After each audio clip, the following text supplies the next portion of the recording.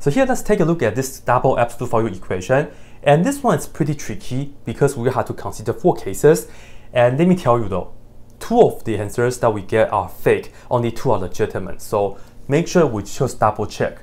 Here we go, case one, just take out the absolute values. So we will just get x plus 2x plus 3 and that's equal to 4. Okay, solve this. This is 3x minus 3 on both sides. We get 1 and divide both sides by 3. We get x is equal to 1 over 3. Alright, so that's case 1. Case 2. Perhaps let me negate this one right here first. Take out the absolute value and we get negative x. And then plus, we keep this positive. And we have 2x plus 3 and that's equal to 4. Okay, this right here will give us x. Minus 3 on both sides, we get 1. Alright, and then case 3. I'm going to keep that as positive and then negate that after we take out the absolute value. So we have x and then minus parentheses 2x plus 3 and then that's equal to 4. So right here we get x minus 2x and then minus 3 it's equal to 4. That will give us 7 and this and that will give us negative x and divided by negative 1 x is equal to negative 7. Lastly, case 4, I'm going to negate both.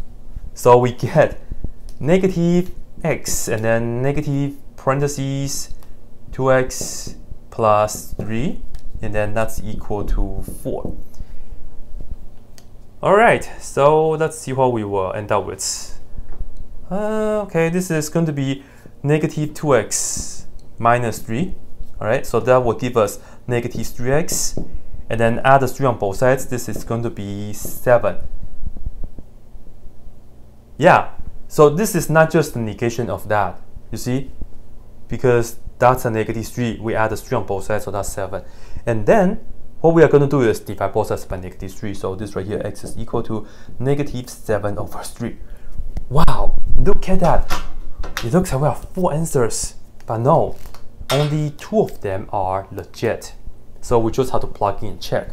So check case one, plugging one third in here, we get one third, and then plugging into here, we get plus pretty much two thirds, and then plus three. So that's one plus three, which is four. So this right here does work. Absolute value, uh, technically, but everything positive, doesn't matter.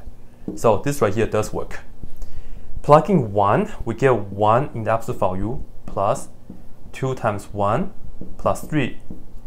Have a look. This is 1, but this is 2, 5. 1, that's 6. So no, we don't want that. So this is not, yeah. So this is actually not the answer. Yeah.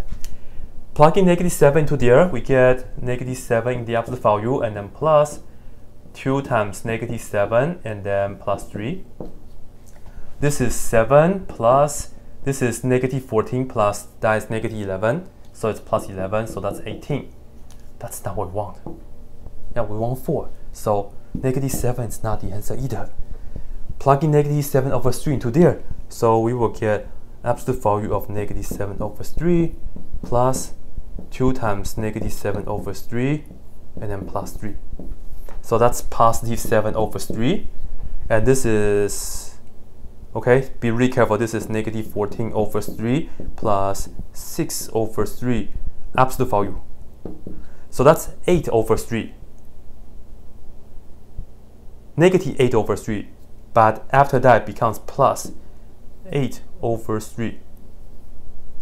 Ooh, no, sorry, my bad. This is not 6. 3 is equal to 9 over 3, so this right here will give us Negative 5 over 3 by the absolute value becomes positive 5 over 3, and this is 7 over 3. So it's 12 over 3, so we will end up with 4, so it checks. So this right here is also the answer.